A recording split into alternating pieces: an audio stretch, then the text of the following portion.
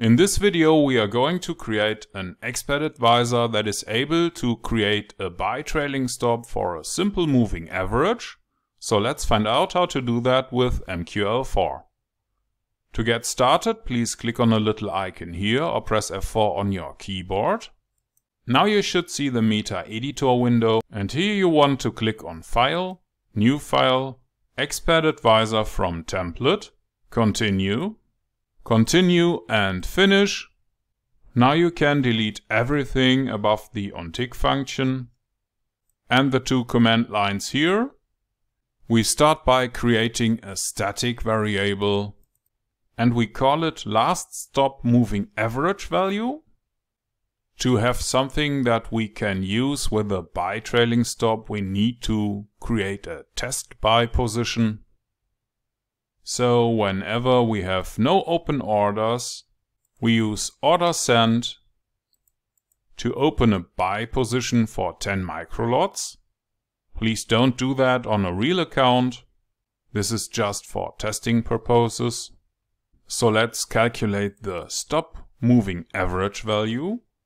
That is done by using the IMA function for the current symbol on the chart and the currently selected period on the chart.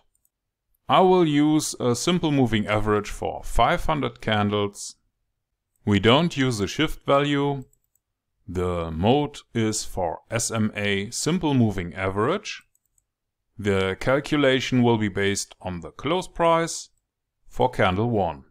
Now we want to check if the current value for the stop moving average is bigger than the last value. And the second condition will be if the stop moving average value is below the current bid price. And if that is the case, we want to try to change the stop loss. That's done by calling a function check SMA buy trailing stop. And we are going to pass the stop moving average value that we have calculated here. And afterwards we want to assign the stop moving average value to the variable for the last stop moving average value for the next time we will check it. Because the current one will be the last one the next time we check it. So far so simple, but this function doesn't exist so far, so we need to create it now. The name of the function is check SMA buy trailing stop we don't return a value, so we use void. And we will pass a parameter called stop moving average value from the main function. We use a for loop to go through all the open orders. Each order is selected for the current counter value that we have used here in the for loop. The next condition we need to check is if the current order symbol is equal to the symbol on the chart. And as we are going to create a buy trailing stop, we also want to check if the order type equals OP underscore buy.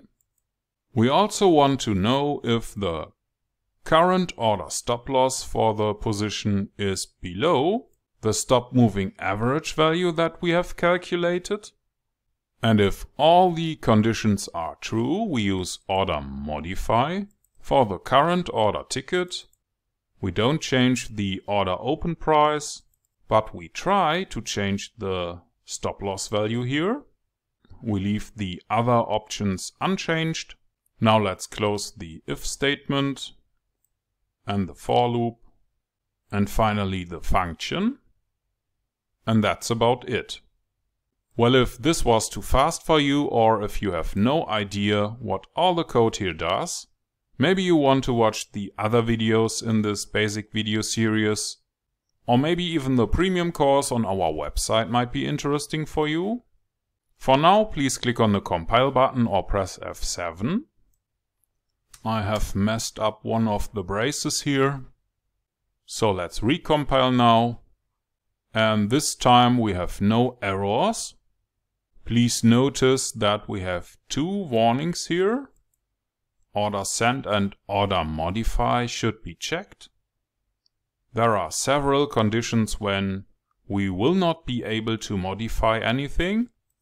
For example, if we try to replace the stop moving average value with something that the broker is not accepting, or if we use the same value twice. I will show you the modify errors in the journal. To get back to MetaTrader, please click on a little icon here or press F4 on your keyboard. Now you should see the MetaTrader window and here you want to create a new chart. Click on Insert, Indicators, Trend, Moving Average. Please pick a period for 500 candles for a simple moving average applied to the close price. I will choose red and click on OK. Let's zoom into the chart.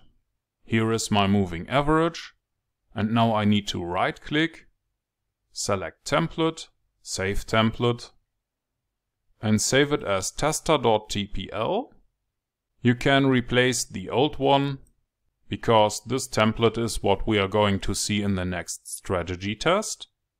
And to do that, please click on View, Strategy Tester or press Ctrl and R. Please pick the new file simple SMA buy trailing stop.ex4. Mark the option for the visual mode here and start your test. Here we are. We see that the trailing stop is working. Let's speed that up a little bit. Once again, I need to zoom into the chart and you see that it works. But if you click on the Journal tab, you will see Order Modify errors whenever the trailing stop can't be changed. As I said, there are several reasons why this could be the case. But for this simple test it is good enough. And in this little video you have learned how to create a trailing stop for a simple moving average, and you have coded it yourself with a few lines of MQL4 code.